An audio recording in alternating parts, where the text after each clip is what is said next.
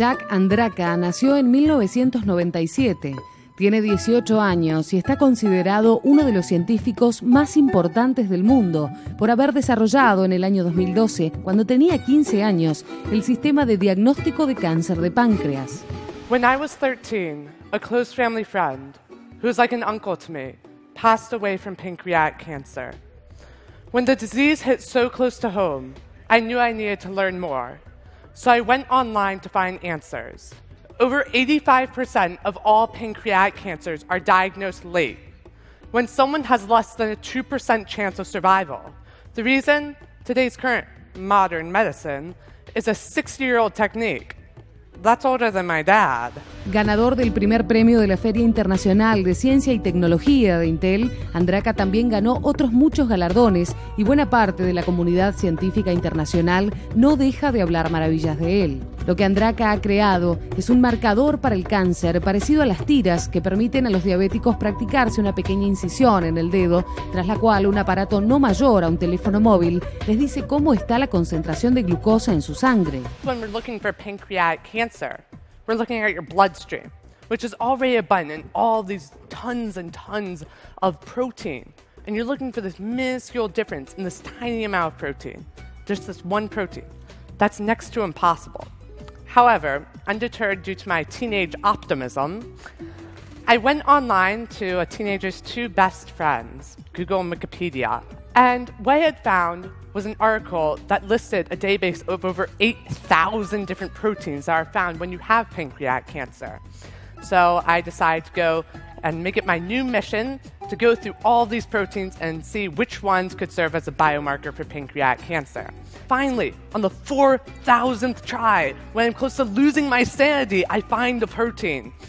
And the name of the protein I located was called mesothelin. And it's just your ordinary run of the mill type protein, unless, of course, you have pancreatic, ovarian, and lung cancer, in which case it's found at these very high levels in your bloodstream. A Andraka se le ocurrió la idea mientras leía escondidas en el instituto, en las afueras de Washington, un artículo de la revista Science. I was sitting in class, and suddenly it hit me. I could combine what I was reading about, carbon nanotubes, with what I was supposed to be thinking about, antibodies. Essentially, I could weave a bunch of these antibodies into a network of carbon nanotubes, such that you have a network that only reacts with one protein. El prodigioso Jack se dio cuenta de que su idea podía ser verdaderamente revolucionaria y decidió escribir un reporte contando su descubrimiento y solicitando un laboratorio para poder desarrollar su tesis. Mandó 200 correos, recibió 199 rechazos y solo un profesor de la Universidad John Hopkins lo convocó. Making a cancer sensor out of paper is about as simple as making chocolate chip cookies, which I love.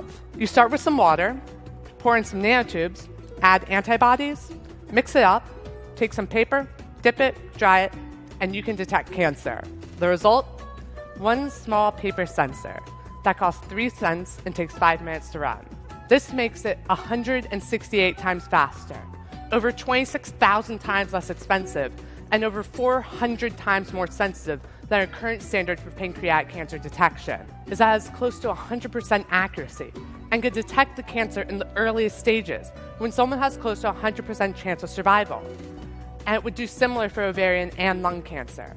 By switching out that antibody, you can look at a different protein, thus, a different disease, potentially any disease in the entire world. La historia de Jack Andraka tiene un largo camino por delante y muchos aseguran que podría convertirse en el próximo Nobel de Medicina. Su creatividad no deja de sorprender, pero lo que más se destaca es su sentido humano y su impronta de que las cosas tienen que cambiar. Jack Andraka es un joven brillante y su vida es una huella no solo por el aporte científico que ya hizo a la humanidad, sino por el que seguirá entregando con su generoso sentido de responsabilidad por el otro.